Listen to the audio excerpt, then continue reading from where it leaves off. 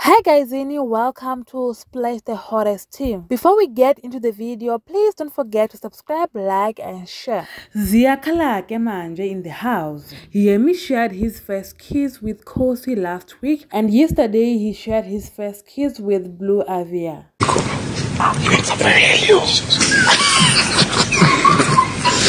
Please wake up.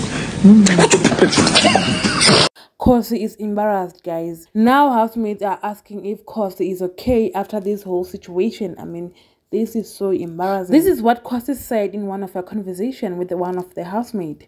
I don't have a problem with Yemi and Blue, but I'm embarrassed with what's happening even though I don't care. He's showing his true colors that he's an ass what what and very inconsiderate. Now everyone is asking if I'm okay and feeling sorry for me. This is so bad. Anyways, let's read the comments. Nayeshi was too forward, following that boy around and not mingling with other housemates. Let her cry. They both rushed into the situationship. They should have waited to be sure of what they want.